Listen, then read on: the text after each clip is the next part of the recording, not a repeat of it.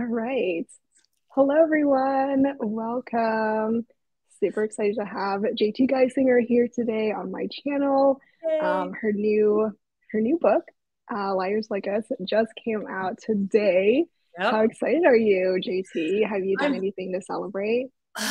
Not yet, but I'm going out after this. I told my husband I need a martinis because I yeah. I've been up since four o'clock this morning, and you know you're always just doing all the things on release day. So uh, wow, yeah, the celebrations will start in a little bit. Right now, I'm I'm still running on adrenaline. I think.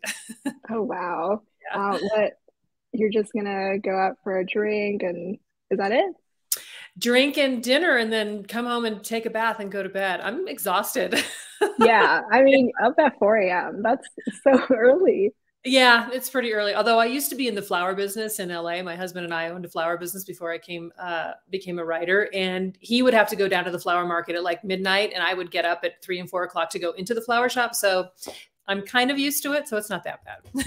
okay. Yeah. Uh, well, I hope you have um, a great drink. Do you know which number release uh, you're on for Liars Like Us? You have a ton of books. I do. I think this is number 31.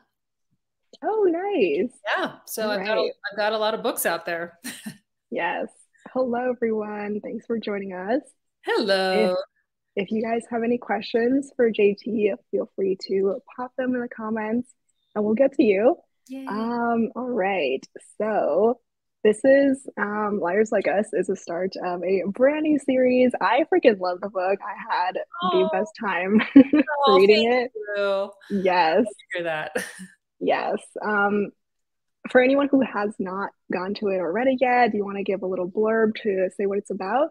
Sure. Uh, it's a standalone. It's the first book in a series of three. And um, this one is, well, it's called the Morally Gray series. So that should kind of give you an idea about uh, the people that are in these books, the, her the heroes. Uh, but this one is Marriage of Convenience, Fake Relationship. He's a billionaire. And uh, she is a bookstore owner who is losing her business. And he comes into the store and makes her a proposition that um, they should get married because he needs to keep his inheritance to get married. And she he'll give her money for the bookstore. But as you go along of course you know as in all my books things are not always as they seem. So yeah there's a little twist in there but um it's a, it's spicy and um, it's funny. I thought it was going to be darker than it is. It actually it turned out to be a lot of banter and a lot of funny stuff. So yeah.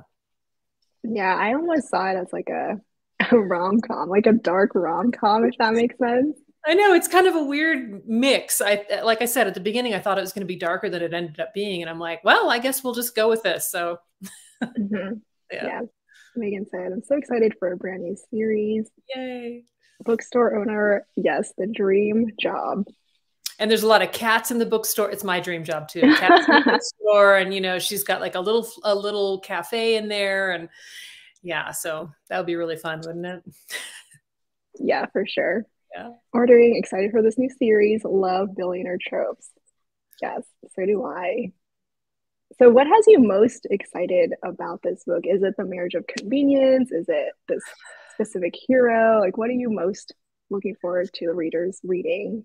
Um, well, this particular hero, I think, um, he is, you know, he's he's got some bendy ethics.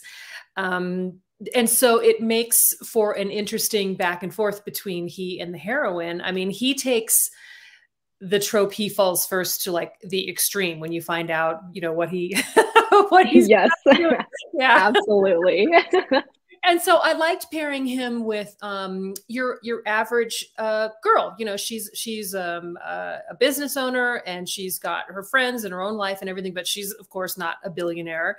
Um and so it's fun to play with you know when these characters like uh callum in the book have unlimited amounts of money the kind of you know nonsense that they can get up to with that.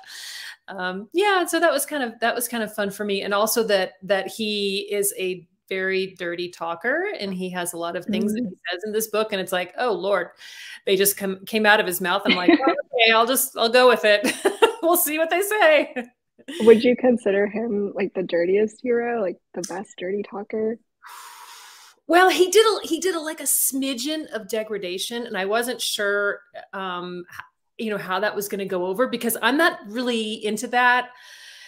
But he was. Um, so I just I just let him do it. But um, yeah, I think I think as I as I continue on with my writing career, these heroes are progressively dirtier and dirtier. I don't know what that's about, but you got to keep topping like each one. Uh, yeah, I don't until know. like you reach that that roof. Next, it'll just be a sex club because where can I go from this? You know, right?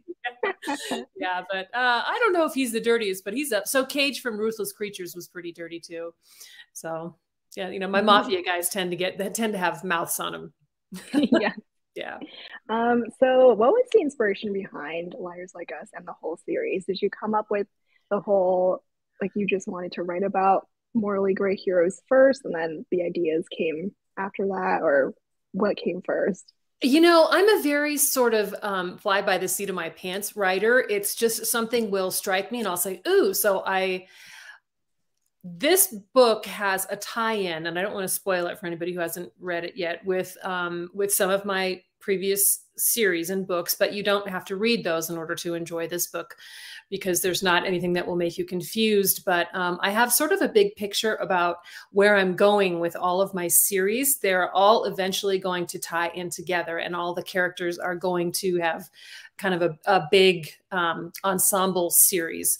So there was some leftover stuff from my last series in the Queens and Monsters um, about a, a, mysterious group that I worked into this series. Um, so that's kind of one of the things that I wanted to do with this um, with this. But I also kind of this series is going to be very trope driven. So you know, I knew I wanted it to be billionaire marriage of convenience um, you know, only one bed, those kind of things. He falls first, where you can just hit mm -hmm. all those tropes. So I haven't done that before, so I thought that would be fun, and and it was because it was a little bit um, easier for me to visualize who was doing what in the book, because I don't do outlines or anything like that. I just kind of, like I said, I'm I'm a pantser. so. Yeah, and then the second and third books are going to be. I think I might have reverse harem in there. I don't know. We'll we'll see. oh my god! I know. I am so excited. oh God, I know. We'll see. Are you prepared for that? Speaking of dirty, right? Mm, reverse yes. hair and maybe a Y choose. that would be fantastic. Oh my gosh, the possibilities. Right, they're endless. I don't want to make any promises, but yeah, maybe yeah. we'll see. Ooh, okay.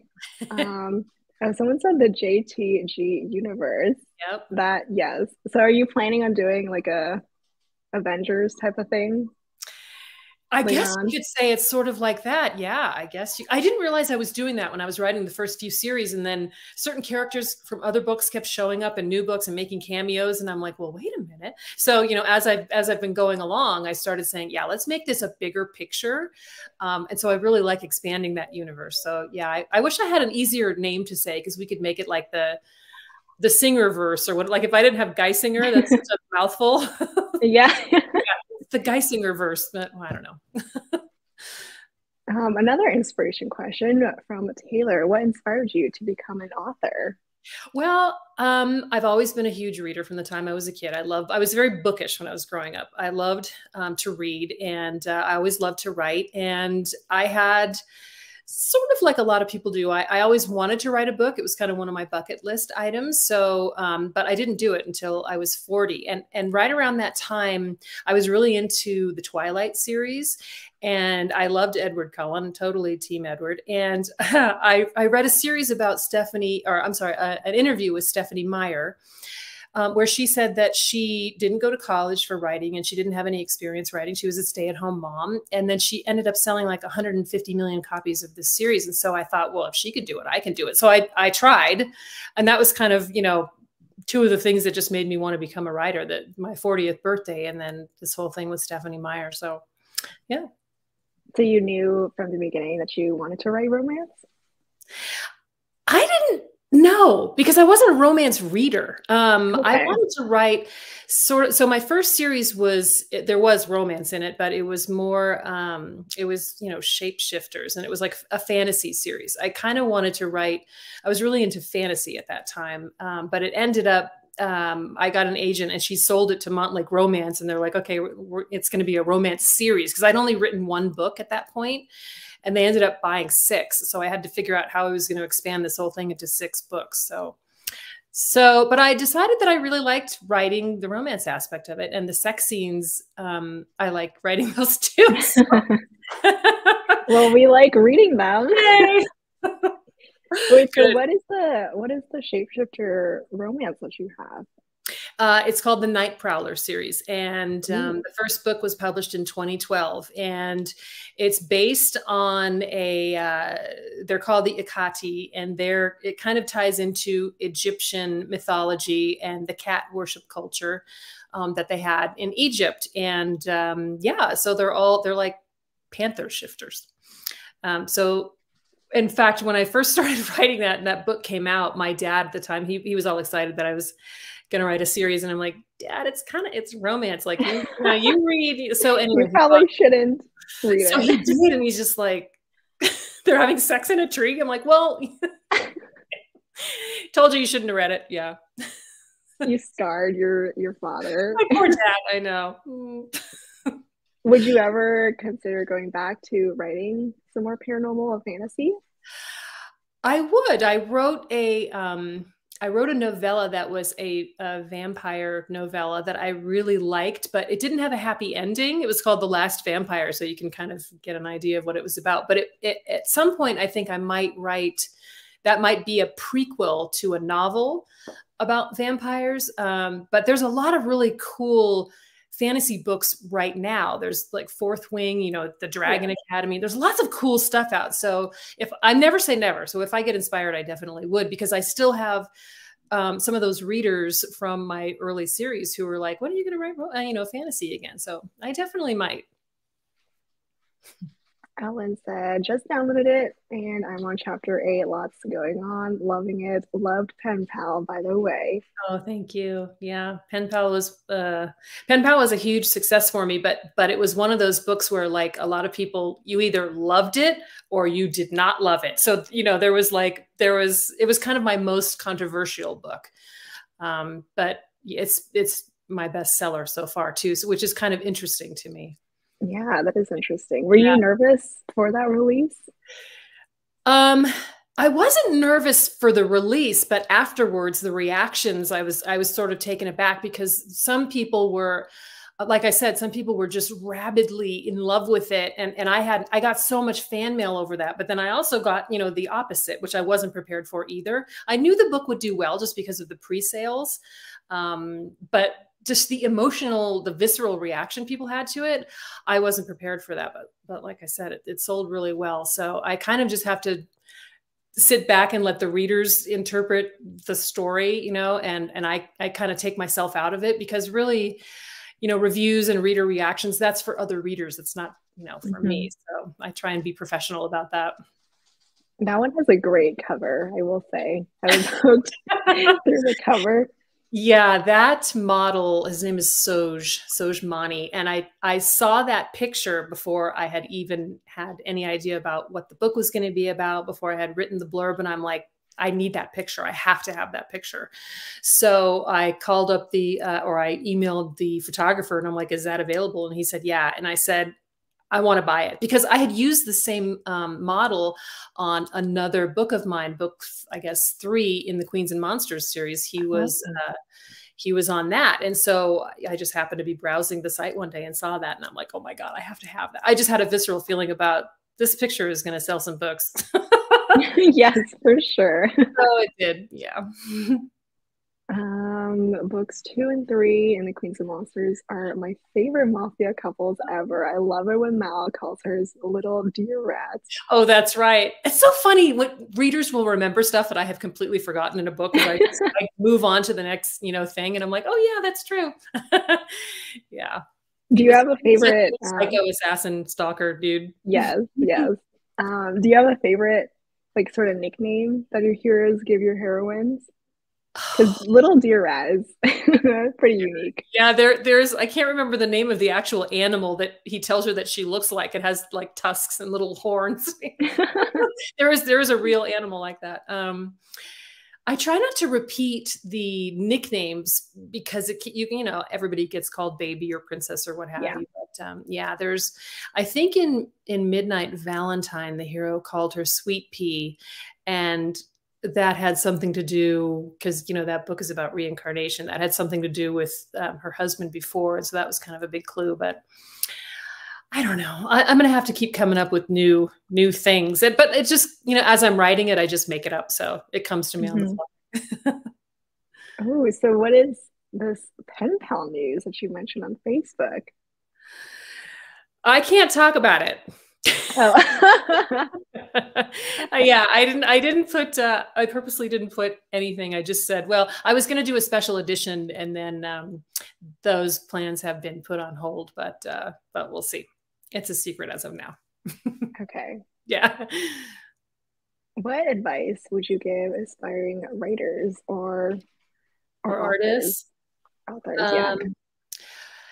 It's really hard not to be affected by people's input to your art. You really have to learn how to trust yourself, especially when you're starting out. It's it's difficult because you're looking for um, reassurance and you're looking for feedback. But what you have to learn to do is trust your own voice and write the story that you want to write or make the art that you think is worthwhile and not what you think is going to sell or what have you. Because if you're going to have a career in the arts or in publishing um, it's kind of you know it's kind of hardcore. So you have to really love it. You have to and if you're going to spend your days alone like i you know i sit in this room and i'm alone all day long you have to really be in it for the process and for the art and for a love of it and not you know for what you think you're going to make for money. And then and then you have to really learn how to trust yourself because it is hard. You're going to get a lot of feedback from a lot of people that you need to just be like i'm doing my own thing. You got to do your own thing. Because there's there's a million people out there who are kind of all doing the same thing. We need artists and writers who are unique and who have unique voices and that's what makes you interesting. So um, try not to drink too much is another is another little tip. Only, only for celebrating a new release. yeah, if you're celebrating a new release, it's fine, but don't get into the habit of you know because it's frustrating trying to make art and then you're like ah. So learn how to exercise instead of have some healthy. healthy yeah, habits. get some healthy coping mechanisms because yeah. it yeah it is art is a tough industry for sure. Ooh, your audiobooks. Yes, I love oh. your audiobooks too. They're yeah. mostly how I read your books. Do you have like, really? like, how involved are you in like the whole audiobook process? Well, I'm very involved. So my first, yeah. uh, my first, I think 15 or 16 books, they were traditionally published and by Montlake Romance. And so I didn't have a choice of narrators or, or anything like that. Once I um, started do indie publishing, um, I started doing uh, my own audiobooks. And as I've gone along, I've, I've learned um, what, how, how to, make the process more streamlined. And I've, I've got a couple of um, really good audiobook production companies, and they'll send me clips of um, actors so that I can listen and I can figure out who would be good for the particular role because um, their voices are so different um, and their performances can either make or break an audiobook as you know when you're listening to an audiobook if the narrator if there's just something strange about the, the, the tone or the performance isn't great, you know, mm, you're not going to recommend it. But um, I think my last eight or 10 audiobooks, like I don't even know how many I've had a couple of the same people. And especially in the Queens and Monsters series that the audiobooks just blew up for that. So it's kind of a fun process to do audiobooks, you know, that from the from the casting to the quality control and putting them out there because it it brings such a different uh, level of experience to the book when you can hear it i think when when one of your characters has an accent do you try to find someone from that country that is so hard um, because I actually haven't yet, and I have had okay. I've had people say, you know, can you find them? Um, I think actors, just like actors who work in you know motion pictures and television, um, they can take on a variety of different roles. So far, I've only used uh, voice actors who are able to do different um, accents and things like that. Um, but moving forward, I I might try. I'm not sure what kind of accents I'll have in, in the future, but uh, but yeah, I think it's a good suggestion. Why not? Let's see if they can, you know, get the native speaker to do it. That's a good suggestion. Mm-hmm. Yeah, you've done some some duet um, audiobooks, right? Yes. Ooh, okay. So what what makes you decide like whether to do duet or just a dual narration? I'm always going to do duet from now on. At, um, oh, okay. at the beginning, I I did uh, a single narrator who would do both male and female voices, um, and I think I don't know if I've done dual in any of my indie books, but I like duet the best. And now I'm doing duet multicast. So um, there's you know four or five people in these audiobooks, and I find that that's just a really rich experience. So I will always do that from from now on. Um, a lot of authors don't do it because it's an expensive uh, production.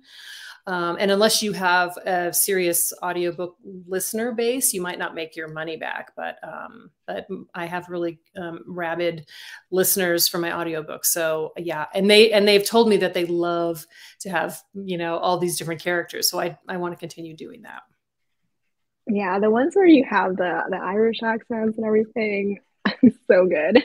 Yeah, aren't they good? I know. That's Troy Duran. He's he's he's mm. my guy. Yeah. so he's going to be in the Liars Like Us um, uh, audiobooks as well. And then I have a couple other uh, people that I'm new people that I'm I'm getting in there too. That were um, Liars Like Us is being um, produced right now, and then I just cast for the next book in the series. I just cast the audiobook cast for that. So that's going to have five narrators. Oh, so the animal from before is the chevrotain. That's right. Yeah. Thank you. I need to look uh, up what that looks like. Oh, it's, it's tiny. It's like it looks like a cross between a mouse and a deer. It's like this big, and it has. Little, oh, and it's got. it's kind of cute. Oh, this is an interesting question. I guess since you write dark romance, what are your thoughts on questionable consent in a romance? Questionable consent. Um, well, when I read books like that, I have to admit that um, that I enjoy it a lot. I mean, I haven't read a book yet where I've been really taken aback or offended by it because I'm I'm very much like, okay, it's fiction. I can just dive in. Um, I think it can be handled well or poorly, and I think that now readers are coming to expect a certain level of, of, trigger warnings which i never used to have on my my first books. But now people are wanting that more so that they can make an informed decision how much you know like dub con or non con is in here because some people love to read it and other people just don't want to come across it. Um, I, I think there's some dubious consent in some of my books but i don't like to push the envelope too much there because I think it can be super triggering for people. And it's not something that I particularly um, seek out when I'm reading. So I kind of like to write the stuff that that you know I like to read or or I enjoy um, as far as that goes. So I don't know if that answered your question, but there's there's there's levels of spice and all that kind of thing for every reader. So yeah, that's true. Yeah. Uh, well, going back to liars like us, mm. um, is this the first time that you've written this sort of character uh, with Callum being such an obsessive hero? Like, did you just come up with someone who's so over the top? Was this the first time having this sort of hero? I think so. I think um, what usually happens in my books is that the hero becomes obsessed because I never mm -hmm. have heroes who are cheaters or there's other women drama, you know, where he's like interested. I never have any of that because for me, that's an ick. Um, yeah, I always that's like. Why, that's why we love you. oh, I don't want any of that, like in real life or in my books. I don't want to deal with it at all. It's one thing if you know something causes a little jealousy, but not because there's actually something happening there.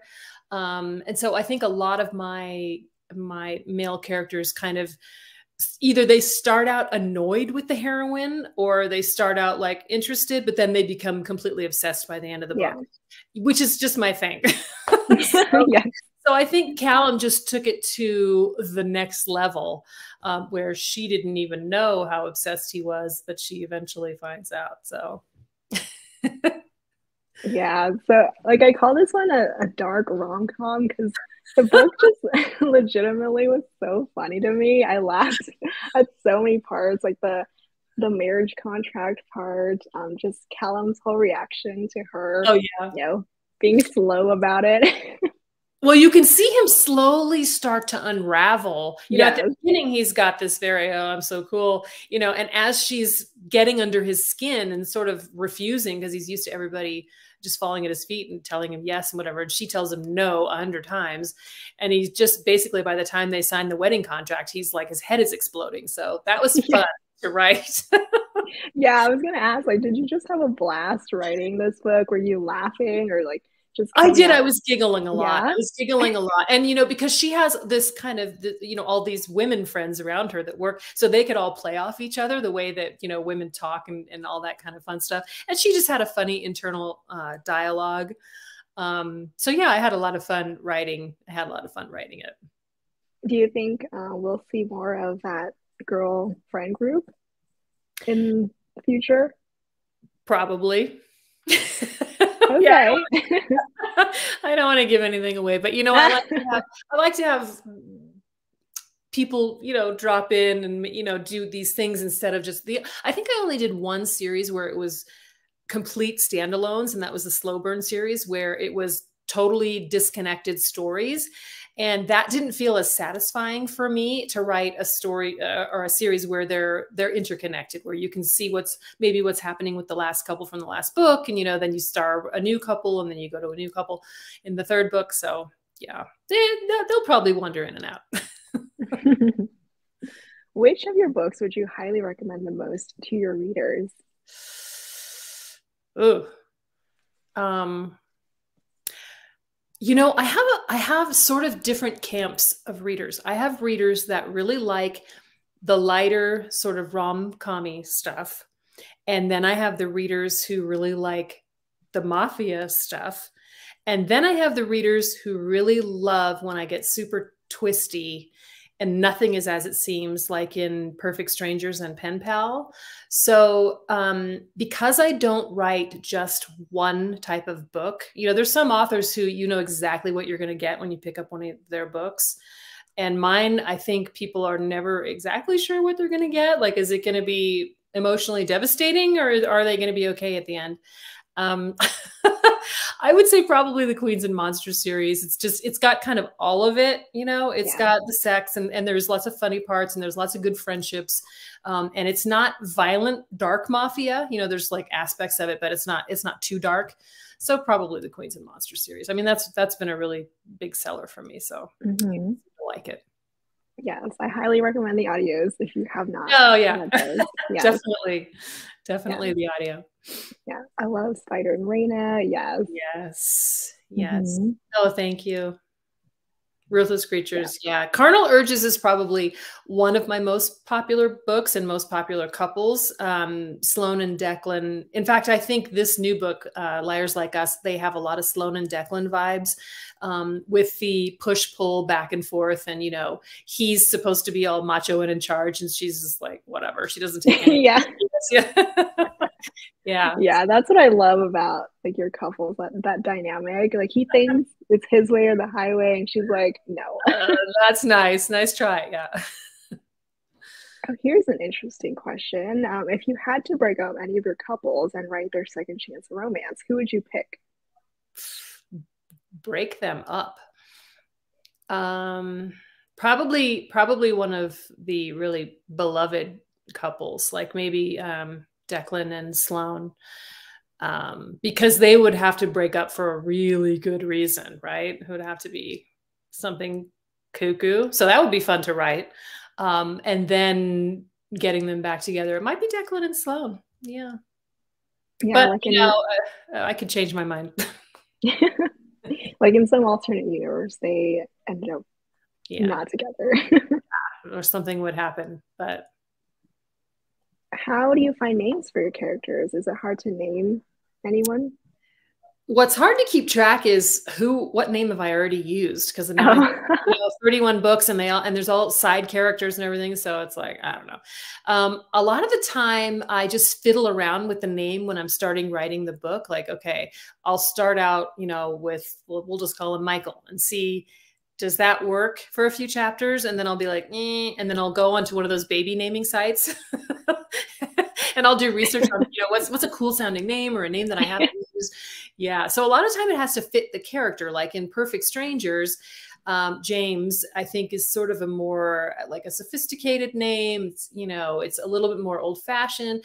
But if you are dealing with, you know, Irishmen, then you have to kind of so so the character usually lends itself a little bit to the name um, but at some point i'll have to make a list of all my couples and all the names that i've used for emery in liars like us um, i had read a book where the the main character's name was something like Elodie or something like that that I thought, oh, that was so pretty. And so then I, I kind of wanted to use something with an EL sound to it.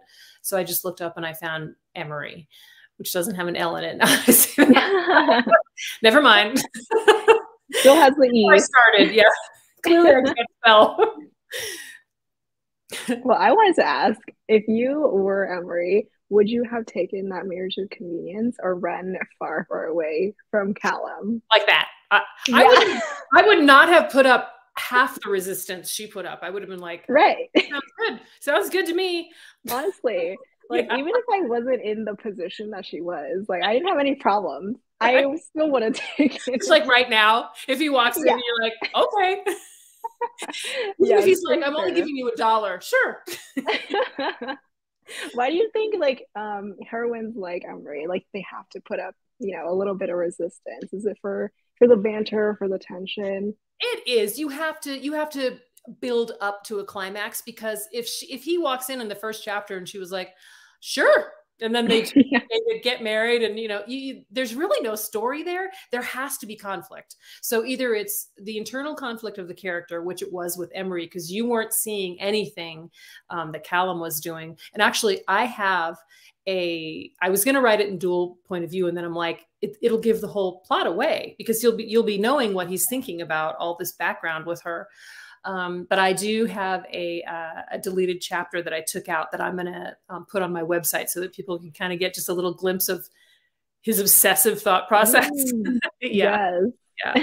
that is exciting. I'm yes. excited for that. Yeah. And it's it's in the it's I think it would be chapter 7. So right after the lunch that they have and then mm -hmm. he mm-hmm. goes and he gets her with the police um, and then they sit and have a conversation in the car after she gets out of the car then it's a chapter from his point of view. So it's fun. Ooh, okay. Yes. Looking forward to that. Good. So, what are your favorite traits or aspects of Emery and Callum? Like, what are your favorite things about these characters? Well, I love it that that she can she can just give him shit um, and she's not intimidated by him which everybody in his universe is very intimidated by him not only because he has so much money and is good looking, but also because he's kind of a kind of, I don't want to say jerk, but he's just he's arrogant and overbearing, and everybody is very flustered by him. And she only is when he's kind of coming on to her. The rest of the time, she's just like, dude, go away. um, so I really like that they have that push pull, and I like that he has to try and pretend. Um, because of all of his backstory of what's been going on with him, that you know this is all very uh, business like. So that was kind of fun to have him do that. And you know, they're they're both kind of um, smart asses, which is uh, one of my favorite things to do with characters is just make them really you know snippy with each other, and and the banter goes back and forth. So that's a lot of fun. Yeah. Well, speaking of banter, like what makes you decide, especially in all of your recent books, uh, what makes you take the more humorous route when it comes to dark romances? I wish I had an answer for that. Like I haven't really well, I guess Pen Pal was dark. Um, there wasn't a lot of humor. There was a little bit of levity in there, but it wasn't. There wasn't a lot of um, a lot of that. And same thing with uh, Perfect Strangers.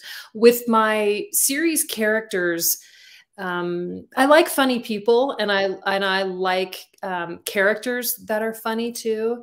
And that snappy dialogue is really a good way to have the reader get to know the characters instead of a lot of internal thoughts. Um, they can they can watch the interaction and the back and forth, and so they can watch the chemistry. So that's a fun way to bring people into the story. But um, I don't know. Maybe one of these days I'll write something that's really just. dark and depressing. But then everyone will be like, "Oh my god, what happened to JT?" you know, so. must have gone through something to write this. exactly. Uh, is there a trope that you consider too taboo in romance? Incest is oh.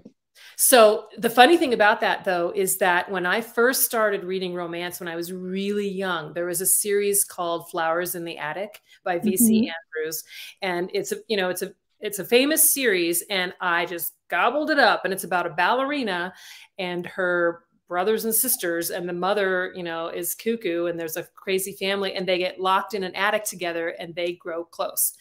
Um, and i don't think that anybody could write that nowadays you know? I, to me that's just like mm, yeah that that's where i would probably never go. And um anything that would be with like too underage you know so like there's a borderline mm-hmm. right? So 17 18 that's fine but like yeah.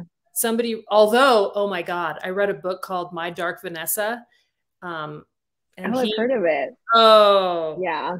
So you think it's a love story um but you know he's actually he's actually a predator um, and mm-hmm. he, he starts you know like so i think it's he's like her teacher and i think it starts when she's like 12 or 13 so there's there's aspects of things where as a person, you would never condone that in real life, obviously. And you might feel a little bit squishy about reading about it. But sometimes some of these really borderline stories can just pull you in because they're taboo. You know what I mean?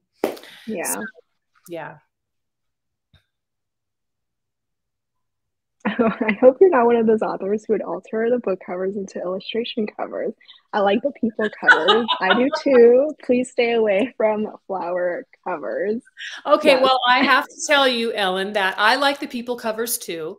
Um, but there, as an author, we have to be aware of sales trends in romance, right? So um, there is a trend now for illustrated covers, which I have not done. I, um, but with you know, kind that that seems to me a little bit more like rom commy yeah type of a thing, the illustrated, but it it's good in a way because it allows you just at a glance to kind of get an idea of what the book, the tone of the book might be like.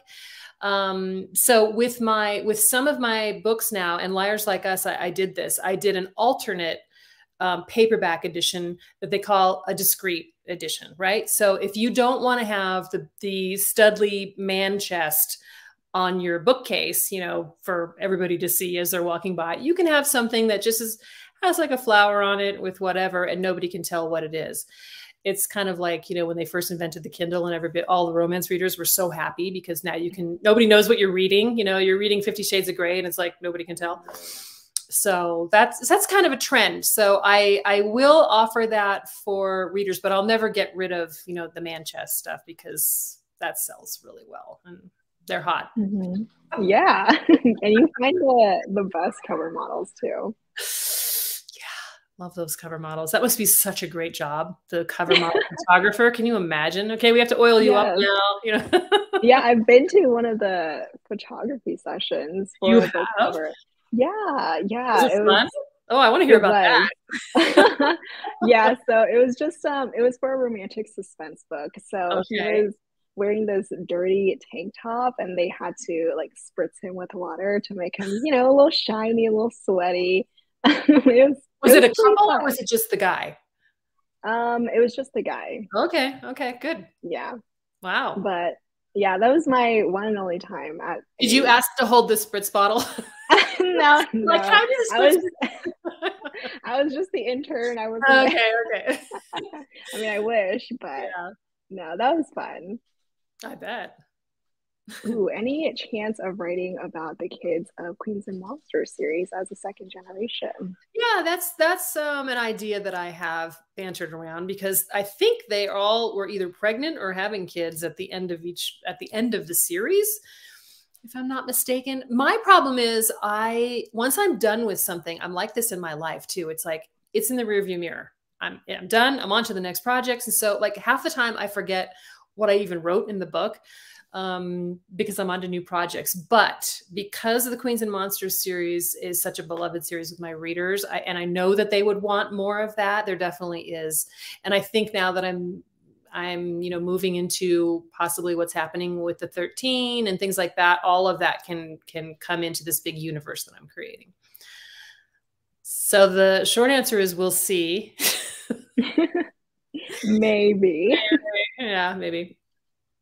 I don't like to plan too far in advance because I lose. You know, for me, it has to be exciting, and if I plan too far in advance, I get bored. I do. But yes, this comment: Studley Manchest covers are here to stay. They are. I will always offer that for your viewing pleasure. Never fear. and then Flowers in the Attic is one of my favorite movies. What is yours? One of my favorite movies? Oh, I have a couple. Um, The Princess Bride, Pride and Prejudice, the Keira Knightley version. Mm-hmm. I love mm-hmm. that movie. So like anytime my husband goes out of town or he's not here, I'll just put that on because I love that. Um, those two are probably probably my some of my top two. I'm sure I could think of others, but I need that martini to get my brain going. I love that you write books with mature couples. Would you ever write something with maybe a woman that has a romance in the second half of her life? Yes, and that is going to be in this series, in the Morally Gray oh. series. There's going to be an older woman, younger man. Um, and I don't know what you mean by second half of her life, but um, it definitely because I think we're you know i'm over 50 and women now are just so vibrant and in the second half of your life it's like now you're almost just getting started and i think as romance readers we're kind of into that now we want to read about older couples and so yeah yeah i definitely will Ooh, i'm excited for the older woman younger man because i do like that that age gap i know it's not as popular as the older man younger yeah. woman trope. But I have plenty of those, so you know. Mm-hmm. Nice to write something different. Yeah. Ooh, yes. the female main characters are so sassy. I agree. They are sassy. Yeah, I like I like a mouthy woman. I don't like timid wallflower characters. Uh, so there you go. Is this is this going to be the second book or the third I'm book? not going to say. okay. Can you say how many books we're getting in the series? So far, I have three planned, but. Okay. But, but, but I have a possibility of a fourth one because it, there's a little thing percolating in the back of my mind, this little storyline that um, is kind of like a secret that may come out. And so if so then there'll be four. And sometimes you know if people if there's a huge reader response to the series like there was with queens and monsters everyone demanded spider get his own book. So spider had to have his own book. So i'm like okay. So we'll see where that goes but at least three for this series can you share like what the the morally gray aspect of it is of nope keeping, well, keeping just like I couldn't in the first one because then you know it's yeah, sort of it's a true. spoiler. So, but they're all morally gray. Where like in real life, if this person really did all these things, you'd be going mm, jail problem. yeah, stalker, jail. Yeah, but yeah, it's, it's fiction, so we can get away with it. yes. Uh, what trope would you write about that you haven't yet? Um, well, that reverse age gap we were just talking about, uh, definitely want to write about that. Um, I do think I want to write a why choose romance where there's one main female character and at least two, possibly three male suitors. I think if you get more than three, then it gets, you know, it's very confusing. so, um, so like where what yeah, like okay. i'll just stand back here and you guys do your thing. Um yeah reverse reverse harem and uh why choose and then the age gap. I you know i have a hard time sometimes remembering all the tropes because there's so many. So mm-hmm. i don't mm-hmm. know. What are your guys' favorite tropes that you want me to write? Let me know. I'll work yeah. it in. Yeah well, the why choose is going to be interesting because you do write, you know, possessive heroes. So it'll be interesting yes. to see them sharing. Well, I think what would probably have to happen is that the male character um, is maybe bi. And so he's in love with both of them. So, you know, because I do mm-hmm. like to mm-hmm. have that I don't I don't like to write stories where it's just about the sex. I like it to where there's a real emotional connection and they're really in love with each other. They get there eventually not where it's just, you know, lighthearted and light dating or anything like that. Like, no, they have to be obsessed with each other. So, or he has to be obsessed with her is more important. yeah. Yes. yes, please, to the fourth book. Fourth book. Yes. Okay. All right. More I'm than listening. three. More than three guys, and you basically have a sports team. Right? You do. Although that could be fun. Oh, sports team. A whole sports team for a Why Choose book. this girl is going to need to be eh, drinking a lot of water and doing a lot of you know limber exercises. She's going to have to be in really good shape. Ooh, oh. Do you have any celebrities in mind who you think would be perfect to play your characters in your books? I don't, because I don't. Um, I don't look at inspiration photos for for characters. I know a lot of authors do that, and a lot of um, readers like to like to figure out okay who is you know which guy. I, I right now I'm sort of obsessed with Pedro Pascal. Um, yeah. I, I, just there's something about him that I love. Yeah, uh, everyone is loving him. Oh, they should. He's got a good sense of humor, but he's also got yeah. that daddy energy. I don't know. I, I I'm really liking him. Um, but yeah, I don't. I really don't know. I'm. I you, you guys would have to tell me because I'm not good there. I'm sorry. Ooh, okay. So the tropes that they want you to write. Trouble. Ooh, I haven't done that yet. No. Mm. That would be great. Yes, mm. the angst. Mm-hmm. Mm. Okay, I'm getting ideas here. Because I do, when I go angsty, I go really angsty. So, okay. And then single dad, a dark single dad romance. Single dad. Mm. Why not? Yeah. Sure. Yeah. Where's my pen and paper? I do write. maybe maybe a single dad assassin, you know, okay. goes out. Yeah, I think if I did a single dad, I don't think I just thinking about it right off the top of my head. I don't think it would be lighter. I think it would be dark. Like this guy has some baggage, right? So yeah, yeah. okay, I like it. Yes, reverse hero, romantic suspense. Okay, I can probably work those two together in one book. how much time does it take to write a manuscript and how much time it goes into editing? Do publishers change a lot once you hand the book over? Well, the process is extremely different from traditional publishing, which is where I came from, Montlake Romance, to indie publishing. Um, because traditional publishing takes a lot longer. It can take years from the time you start writing the book to the time that the book comes out because there's many, many layers of in-house processes. So for example, when I usually takes me about three months to write a manuscript.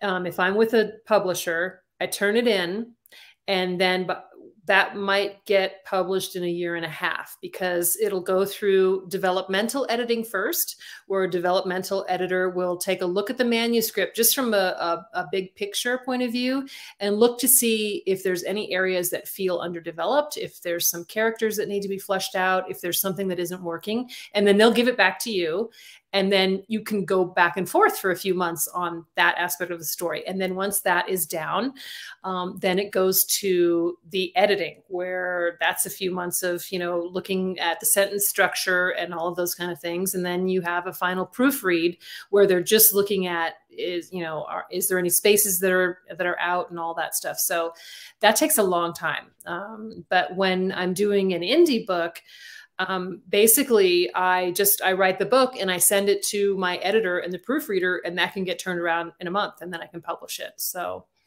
um, there's there's good and bad aspects to both and one isn't necessarily better than the other. I just happen to like being in control of my process my covers um, when i can publish and, and things like that. So i've really enjoyed going into the indie aspect of publishing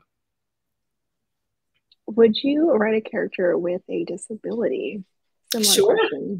Yeah, sure. One. In fact, I um, I was just reading an article the other day. Uh, I think it was in the New York Times about a woman who was in a wheelchair, and she was she wrote this beautiful article about um, dating, trying to date, and the uh, the stigma that people or, or that you know that she the the challenges that she had with people assuming that she wasn't able to do all sorts of things because of her wheelchair. And I thought that the um, the story was really kind of moving. And I thought, so yeah, I think whatever the disability is, I think it would be interesting to show someone because that's a lot of character development there you know and and there are a lot of people in this world who even if you can't tell just by looking with them at them we all have certain challenges. I have ulcerative colitis which is a you know a disabling disease. You can't tell it by looking at me but um but i think it would be fun to well not fun but maybe even meaningful to write something with a heroine or a hero who has those kind of challenges because a lot of people would identify with it i think. We don't just always want to hear about the perfect people right? Yeah. Yeah um oh another another sort of suggestion mafia right hand is a woman oh. any woman empowered my romance yeah, yeah. Well, I guess I wonder if this person read um, Reina's story um, in Brutal Vows. But yes, I because she takes over the entire Italian mafia. But yeah. Um, yeah, but it's it's nice to have. Well, and, and also in my um, my Night Prowler series, that was all you know run by women. That whole hierarchy was all you know women based. So it's good to have girl power. And then I also love a mafia world where the main characters are enemies of the main leads from Queens and Monster series. Oh, that'd be interesting. You guys are giving me very good ideas. I like that too. Yeah. you have lots of lots of books to write now. no, a good one. Yeah. As I'm having my martini later, I'm just gonna write it all down on a cocktail napkin and yeah, just make sure you don't forget. Okay recap. Ooh, any any international book signings or just book signings in general coming up? I keep getting invited to um, the rare signings, and they're all over the place. You know, Paris, London, Edinburgh, what have you. And um, I just haven't um, committed to that because I haven't been sure. You know, what my schedule is going to be um, for international kind of travel. But uh, I'm going to Love in Vegas in October of this year. That's yeah, I will see you there. Oh, okay, okay, yeah, that's going to be my first signing in I don't know six or eight years or something because I, I used to do them with Romance Writers of America, but I haven't in so long. And then um, in Denver uh, next, I think it's April. I think it's April. Um, I'll be in Denver for um, Readers Take Denver. So th- I have those two coming up. But international, I don't have any plans as of yet, but never say never. Do you have a pre-order for Love in Vegas? I don't have that up yet, and somebody needs to help me. I don't know how to do that. So that's that's on my list. Um, that will probably be up within the next week or two on my website. So so we'll get that doing. So if you had to choose, who is your favorite hero that you've written so far? oh, my favorite hero. Um, I don't know if you read Melt for You, but um, Cameron McGregor yeah. is one of my favorites uh, because he is so much more than people think he is and he's so supportive of Joellen and um, he's very patient with her and he's basically a really good friend to start out with. And he's funny and he's hot. So cam is one of my favorites. And also you know declan um, declan's one of my he's one of my favorites too. So but also um, from pen pal aiden uh, there was just something about him that just sticks with me. You know, the way that uh, that he fell for her, and and uh, so maybe those three are probably my top three. Yeah, yeah. The slow burn series was actually, I think, the first like books that I ever read from you. That was how oh. I discovered you. Okay, I always like to find out how people came into the the universe. Yeah, like the the third one is my favorite. Surprisingly, is very different from the first two. But it totally was. And you know what's funny? Yeah. That's my least favorite book that I've written. really? Yes. Why? I don't know why. And in fact, when my husband, when I went to turn that manuscript into the publisher, my husband and I were in an argument and and I didn't dedicate the book to him. That's the only book that is not dedicated to him because I was like in a snit. Wow. I know. So that book is sort of infamous in my household. It's like, don't mention Ache for You. wow. Yeah. So, but, but I, you liked it. yeah, I love the humor. Like yeah. I think that was what solidified you, like being able to write such good banter. Oh, funny. I think yeah, that was funny. I'll have to go back and reread it and see if I can adjust my opinion. yeah, yes. Would you ever write an interracial dark romance?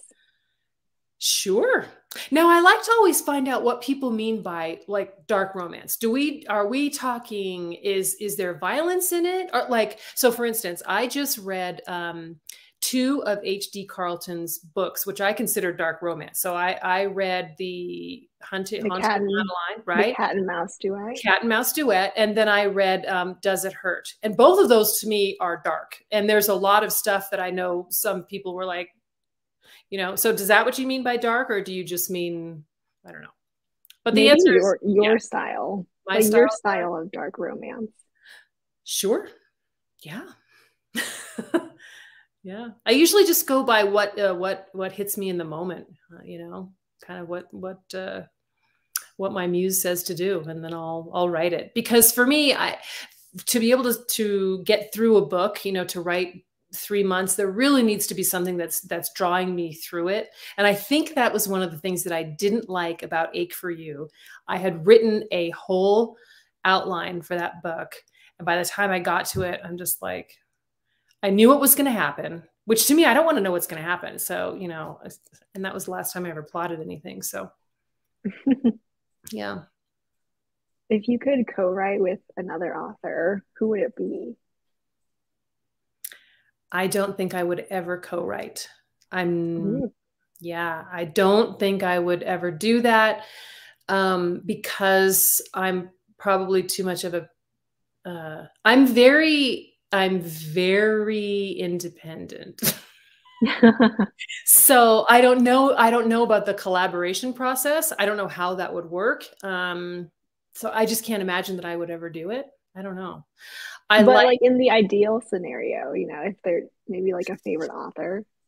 Um, yeah, but my favorite authors don't write what I write. So mm. like I'm I I revere um what's his face?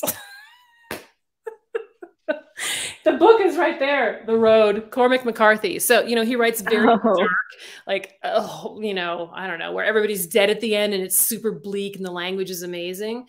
So I like really literary authors uh, and books, um, but I don't write that. So I don't, you know, for me to collaborate with somebody, they wouldn't want to. they wouldn't want to collaborate with me. They'd be like, "Wait, why is his What's going where? You know, why is he naked again? yeah. Oh. Ooh, which one of your books would you want to turn into a movie? I want them all to be movies immediately. that would be my, that would be my my thing. Um, the thing about turning uh, books into movies is, you know, nobody ever likes the movie as much, but um, um, I think Midnight Valentine would make a really good uh, movie because I would say like Perfect Strangers or Pen Pal, but those are such whiplash inducing things that I don't know how it would if the the experience of reading it would come across to the screen maybe. Um yeah, maybe Midnight Valentine. I don't know. You guys are asking these very good questions and you know, I'm I'm not sure. So what are you currently working on right now? Are you writing book two in the Morally Gray series, or is that done? Yeah, three. Wow. so what happens is I have to kind of sometimes, you know, based on what happens, because two hasn't come out yet. So based on what happens in three, I might have to go sort of change things around a little bit. So yeah. So then we'll see what's going to happen if there's going to be a fourth. Is there anything you can tease about what we're getting next you're going to get more of kind of the same style um, I, it might go darker as the series goes on because more things are going to sort of come to light in the background um, and so cole is the main character of book two um, and cole oh, the brother the brother who is very unhappy and always looks like he's about to blow a gasket he's the hero in uh, in book two. So, um, is yeah. it going to be all three heroes or? Um, or yeah, it's gonna be all brothers, brothers, I mean, it's gonna be all three. Brothers. Yeah, and okay. possibly somebody else who is a secret that we don't know about that will pop up. but yeah, interesting. All three McCord brothers. Mm-hmm. Ooh, okay. Because they're, you know, they have this media empire that's involved in interesting. Yeah. So yeah, I'm using that as a backdrop. We only met one of the brothers, though, right? We didn't meet the. the you didn't meet one? Carter yet, so it's okay. it's Callum, Cole, and Carter. Mm-hmm. You haven't met Carter. He's the youngest, and Ooh. Cole is the middle brother who has all the uh, attitude problems. Ooh, so I'm guessing the youngest one is going to be the older woman, younger man, possibly. that's my I'm not telling you anything face. I might have looked like I was having a problem there, but that's me going, I don't know. We'll see. I don't want to ruin it. Yeah. Are any of your books available in other languages? Yes, my books have been translated into more than 20 languages. So, depending upon which which book, you know, yeah, they are. If you had to do a retelling for a future book, what fairy tale or myth would you lean towards? Oh, fairy tale. Uh, you know, I really like, I don't know about fairy tales, but I really like the Greek gods because there's so much history there and it's all pretty much it's all very dark. Like hades and persephone and, and those kinds of things are all they can be really dark. I did a um, beauty and the beast retelling with uh with burn for you. Um god there's there's so many good ones. Oh and then the ugly duckling i did with um melt for you and then I can't remember what the third one was. Cinderella, maybe. Cinderella. Cinderella. Mm-hmm. Yeah. So I've so I've done a couple of that. So it would probably be something something uh dark to do with some of the Greek myths that I would that I would go with. Because there's a lot of interesting underworld aspects and stuff to the Greek mythology. Mm-hmm. Hmm. Yeah, you could definitely fit Greek mythology into a sort of dark mafia romance mm-hmm. kind of twist. Yeah. Yeah maybe do an alternate universe kind of a thing. Yes.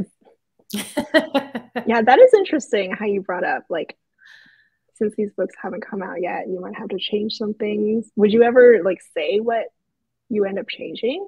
Yeah, after the fact. Mm-hmm. Mm-hmm. Okay. Because I, it's one of those things that readers kind of enjoy looking at behind the scenes uh, yeah. of processes. So yeah, after the fact, just like I'm going to give um, Callum's uh, chapter, you know, after the fact, after this book has come out and everybody's read it, you know, then I can give his chapter so you can sort of see a glimpse into what makes him tick. But I need mm -hmm. to get mm-hmm. better about keeping notes about all these things as I go along um, so that I can maybe do something interesting for you guys where you can see all of these different, you know, plot points and what have you and how they, they move around. Um, but yeah. Oh, another book signing question. You're going to I'm going Vegas. to yeah, I'll be in Las Vegas in October, and then I'll be in Denver in uh, April of 24. Yeah. What are some of your favorite dark romances by other authors? Uh, Kitty Thomas has a book that has stuck with me for years since I first read it. It's called Comfort Food. Um, it's about a woman who is abducted, and it's not a fun abduction like you know Declan and Sloane in uh, Carnal Urges. She's truly abducted. Um, and it's so good. I, am getting chills just talking about it. Okay, so comfort food is really good. Um, I really loved a book called The Idea of You by Robinne Lee. It's a beautiful romance about an older woman and a younger man. And it does not technically have a happily ever after, but it's one of the best written romances I've ever read. Um, and dark romances. Well, I, I did really enjoy um, Does It Hurt by H.D. Carlton. I thought that was just interesting. And, and I like when authors will just go there and they don't give a shit. They're like, I'm just going to do something really unusual because you kind of get bored of reading the same old thing. So I like yeah. it when people take risks, and she definitely take risks, which I respect um, as a writer. So like even if you don't like the book or it's not for you, it's like all right, well she did a thing that people are talking about, and I like that. Um, I really liked Verity by Colleen Hoover.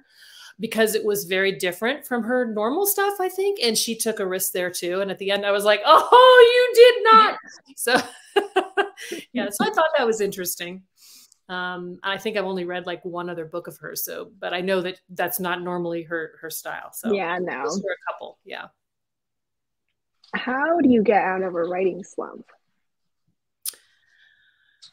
Um, usually it's very predictable for me. Normally the first half of the book, I'm charging through it and everything is going great. The first the first 25% is a little bit more difficult because I'm getting to know the characters and I don't plot anything. So I just let the characters' uh, personalities unfold and they create whatever, you know, tension or, or plot points are going to happen.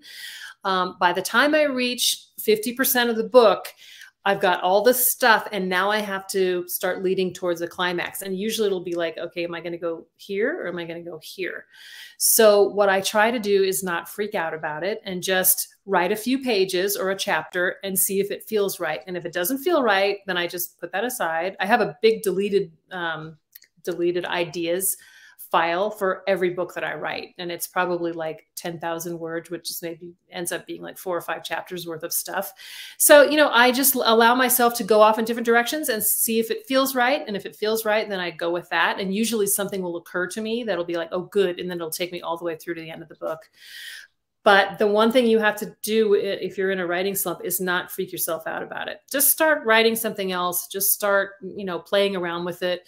Um, usually, if I get to a writing slump, it's because I don't know what's going to happen next and usually that's because i there's some question about the character or their background or their motivation that i haven't answered correctly. So i really have to start sometimes i'll you know i'll write little things to the character like you know getting to know the character and well what well, you know what is what is all this? What was his mother like? What was you know so you not that you're ever going to use it in the book but it kind of just gives you ideas and then you can run with it but I've learned now after 31 novels not to stress out because it always gets done, but there's always a part in the middle. I'm like, okay. So I just, you know, have a martini or a glass of wine and I try yeah. not to stress out about it because the more you stress out about it, the more you, it's like a muscle gets cramped and you, so you just breathe through it. All right. Well, it's already been an hour. So oh, really? Think, okay. Yeah, we can wrap this up. I'll let you get to your martini. yes. Well, thank you so much, JT, for coming on and chatting about all your Thank books. you for having me. This was a blast. Really yes fun. and thank you everyone for joining us all your you, great questions um so liars like us is out today go grab it if you haven't already started it um, do you have a release date for book two Yes, September 28th. So four months. Ooh, okay. So we, yes. not not too long. Yeah. So we'll mm-hmm. keep them snappy. Yeah, and they're uh, both available in uh, Kindle Unlimited too. So, is there anything else you wanted to share before we um, end this? Uh, a lot of people ask when the audio will be coming out for Liars Like Us, and it's being recorded now, so that'll come out at the end of July or early August. So you can look forward to that. And that's it. All right. Awesome. Yes. Well, thank you. Thank you. Right. Bye, everyone. Bye, everybody.